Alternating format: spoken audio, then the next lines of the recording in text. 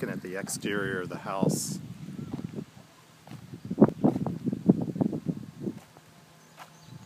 It's got driveway with parking underneath on the right side. And then as you go to the left side, Yeah, we're doing great. How about It's you guys? How's that got- baby of yours? another parking.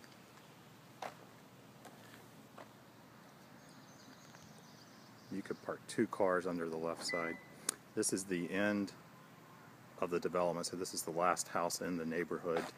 Um, there are currently no other houses built in this development. It's only probably designed for five houses. And I'll look back up the street and you can see the vacant houses or vacant lots on your left. And then this street connects you out to the main road and the oh, entrance into the development.